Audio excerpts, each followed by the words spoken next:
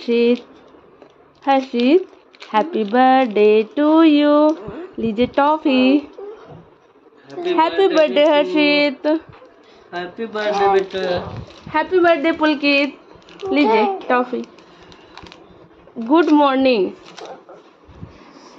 आज है दोनों बच्चे का बर्थडे हर्षित का भी और पुलकित का भी. Happy birthday hello friends good morning कैसे हैं आप सब?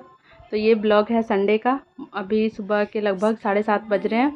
तो जैसा आपको पता होगा, आज हर्षित पुलकित का बर्थडे है। तो हम लोग सेलिब्रेट करने वाले हैं रेस्टोरेंट में। तो अभी वैसे सुबह हम लोग कुछ मतलब कि होता है ना स्पेशल बनाने का कुछ सोचा नहीं है। बस कुछ मीठा बनाएँगे शाम तक में, वो भी सुबह नहीं।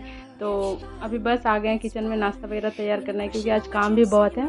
आज केक का ऑर्डर हम लोगों ने दिया नहीं था, क्योंकि एक दिन पहले मतलब रामनवमी था, जुलूस निकल रहा था तो दुकान वगैरह बंद हो गई थी तो हम लोगों ने दिया नहीं था। तो आज जाना है केक का ऑर्डर भी देना है, फिर बच्चों के लिए कपड़े भी खरीदारी होगी, क्योंकि भैया एक नाइट पहले ही आए थे तो कपड़े भी नहीं खरीदा पाए थे।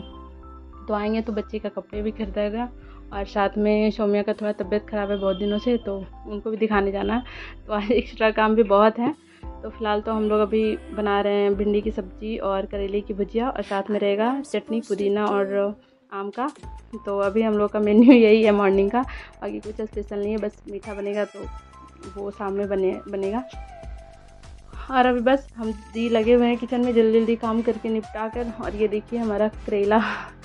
तो अभी बस इसमें मैंने अभी डाला ही है इसलिए इतना पका नहीं है। और इधर एक साइड मैंने भिंडी भी चढ़ा रखा है। उसके बाद जब ये बन जाएगा तो फिर दी बना लेंगे रोटियाँ। और यहाँ मैंने प्याज करेले के लिए काट रखा है। और ये जो कचरा जमाया मैंने एक, एक जगह ही निकालती हूँ।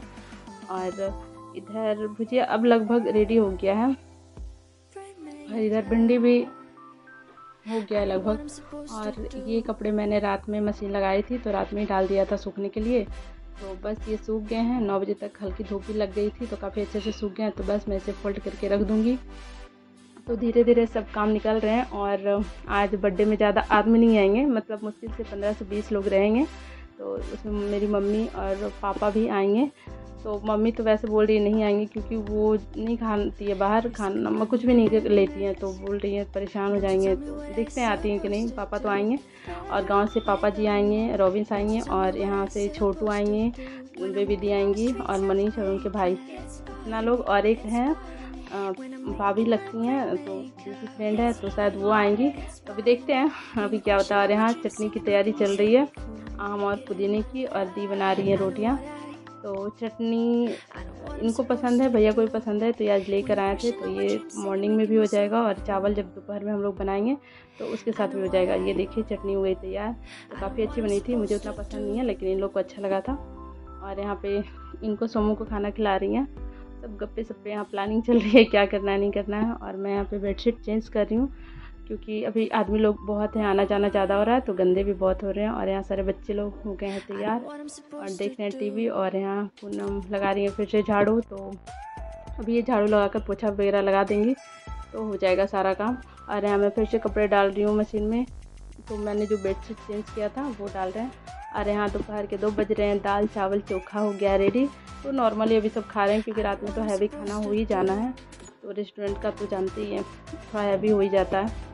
तो बस अभी इतना और ये दिन का है तो सब मिलाकर हो जाएँगे। और ये हैं कपड़े तो ये हैं भैया के शर्ट और ये नीचे है टी शर्ट तो उन्होंने अपने लिए लिया था। तो बस ये है ख़रीदारी तो इसमें सौम्या का भी ड्रेस है, हर्षित पुलकित का बर्थडे का ड्रेस है और और बाकी कुछ नहीं, बस इतना ही था। और लास्ट में जो ड्रेस का मैं दिखाऊँगी, वो पूनम ली है बाबू लोग के लिए। तो वो है और मैंने भी गिफ्ट ऑर्डर करवाया है तो वो अभी तक आया नहीं है ऑनलाइन है तो वो आएगा तो मैं आपको दिखाऊँगी। तो बस यही था आपका। और नेक्स्ट वीडियो में मैं दिखाऊँगी बर्थडे किस तरह से हम लोग सेलिब्रेट कर रहे हैं।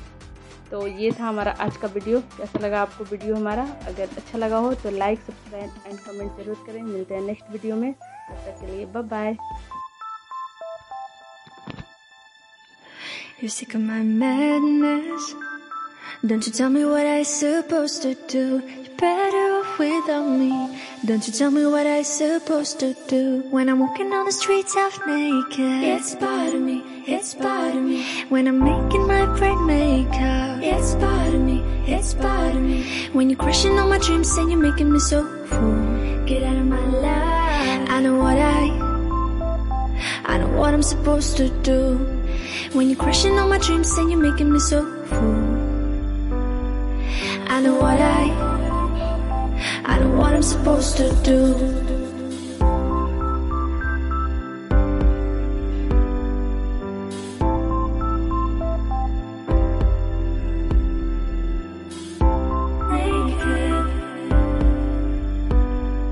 I know what I'm supposed to do.